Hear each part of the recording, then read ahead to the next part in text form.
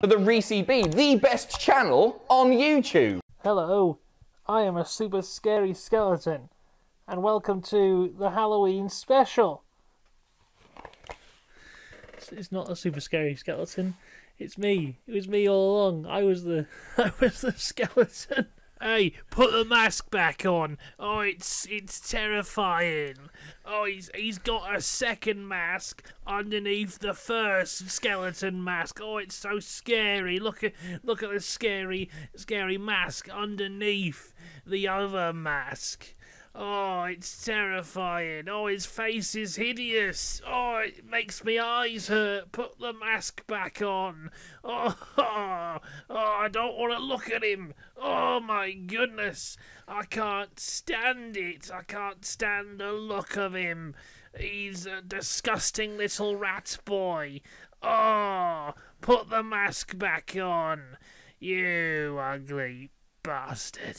Anyway, as I said, welcome to the Halloween special. And today we're going to be having a look at Ghost Stories of North Wales, which should be fun. For this, I bought this book, which is North Wales Ghost Stories. Prepare to be frightened by these terrible tales from North Wales. And this is by a man called Richard Holland. Now, the first thing that is scary about this book is that I paid five pounds for it, even though on the back it clearly says three ninety nine. Can you see that there? Three ninety nine. Amazon. God damn it. Let's read some stories. I realise the lights aren't very scary. Uh, Alexa, set all lights to low. Is that scary? Oh, are we scary now? I hope so. The first story of the Halloween special is about South Stack Lighthouse near Anglesey. Well, it's in Anglesey. I've been there, it's very nice. On October 25th, 1853, a killer storm descended on Britain.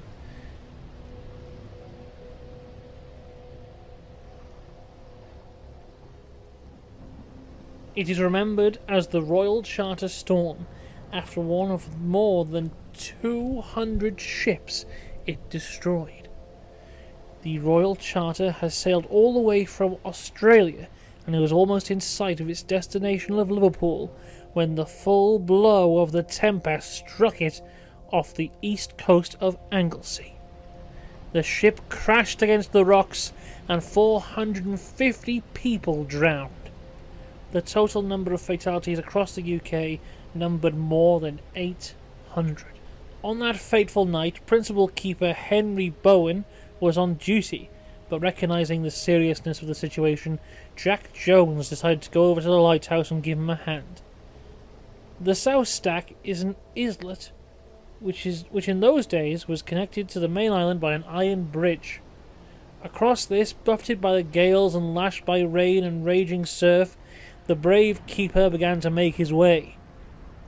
But he did not get far before a rock torn from the above cliff by the raging wind smashed into his skull. Bowen was not expecting Jones and was astonished and horrified to find him the following morning lying just outside the door to the lighthouse, covered in blood. He managed to drag himself thus far, but if he had shouted for help, Bowen would not have been able to hear him, for the fury of the storm would have drowned out his cries. Jack Jones died of his injuries three weeks later. Today, occasional odd incidents experienced at South Stack Lighthouse are blamed on the restless spirit of Jack Jones. They include disembodied footsteps, tapping on window glass, and the rattling of the front door by invisible hands. Well, that was a lovely story. Let's go on to another one. This one is called The Drunken Ghost of Plas yn Rhiw. Rhiw? Plas yn Rhiw.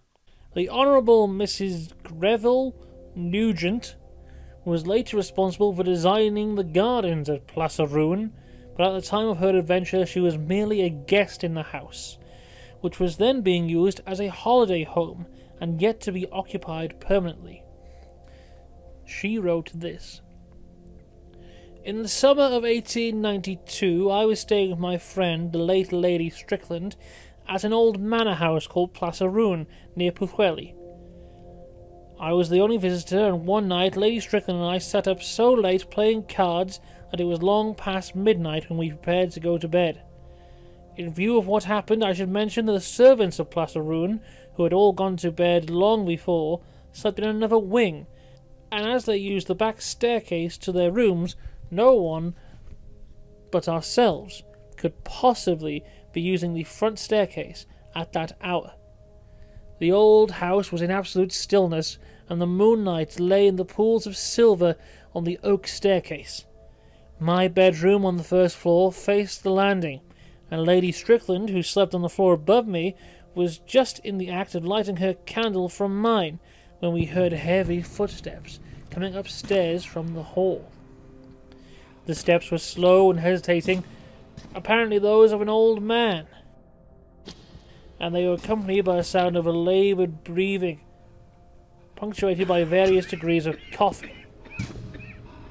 Who is that coming upstairs? There was no reply. We looked over the bolster. Bolsters? What's a bolster? We looked over the bolsters. But although the coughing and wheezing came nearer and nearer, we saw no one. By this time we were too scared to move. Our candlesticks fell to the ground and we clung to each other in the fear of the unknown. The steps paused for a moment beside us, as if the unseen owner of the feet had stopped to take a breath. He then continued his upward progress until the coughing gradually died away and we heard no more. I implored my hostess not to go to her bedroom but to share mine, or any other on the first floor, but she refused, saying, I have some holy water in my room, and with spiritual protection I fear nothing. So ended my ghost story, but some weeks later, after my return to England, I received a letter from Lady Strickland. After you left Plas yn Rhiw, she wrote, I made cautious inquiries in the neighbourhood, and imagine what I've discovered. It appears at the end of the last century the manor house was occupied by a, an old reprobate squire who drank himself to death, and whose deathbed horrors seem to have been something unthinkable. It is said that his earth-bound spirit occasionally revisits his home, vainly trying to obtain some gratification for his ceaseless thirst. So we were evidently favoured with one of his periodical returns.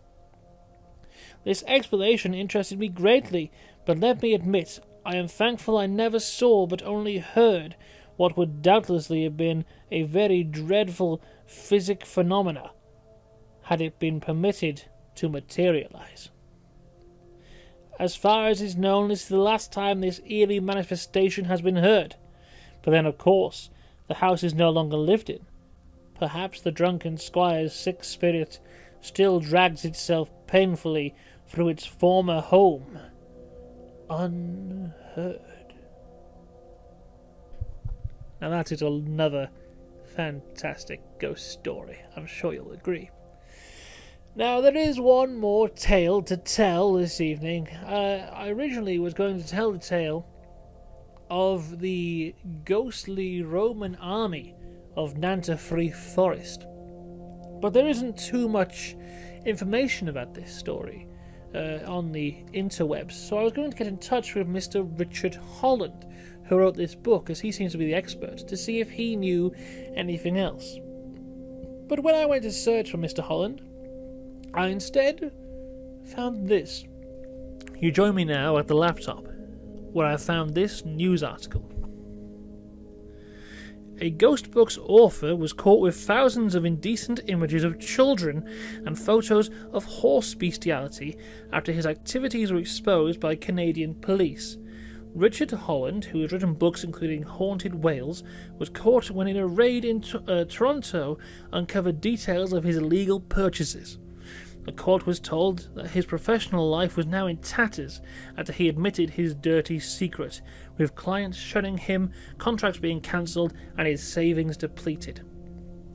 Holland 51 of Ty Nestig, Gwernaffield, near Mold, was spared an immediate jail term, partially because he admitted that he had a problem and was willing to admit it. So, let this be my final message to you all on this Halloween ish night. Do not fear the skeleton men or the ghosts and ghouls, as they are not the real monsters in this world. The real monsters have thousands of illicit photographs on their computer, even ones with horses in. It's quite weird. Watch out for them. That is all. Happy Halloween. Stay safe. Don't have nightmares. And goodbye.